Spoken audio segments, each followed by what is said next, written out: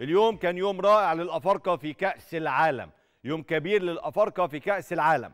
بدأ بمواجهة الكاميرون وصربيا والكاميرون اللي تقدمت مبكرا بهدف وتأخرت بهدفين مع نهاية الشوط الأول ثم هدف ثالث في الشوط الثاني. قدرت تتعادل في النهاية مع صربيا 3-3 في مباراة غياب الحارس الكبير أونانا اللي استبعد من قائمة الكاميرون لأسباب تأديبية هكلمكم عنها تفصيلا بعد كده.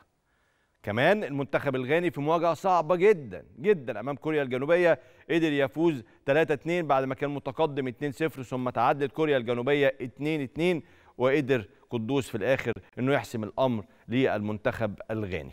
البرازيل وسويسرا البرازيل حتى لو ما أظهرتش قوة هجومية غاشمة كما هو كان متوقعا. فازت على سويسرا 1-0 صحيح بهدف كازيميرو ولكن للمباراة الثانية على التوالي ولا كورة على مرمى البرازيل. البرازيل تلعب وحدها مع منافسيها.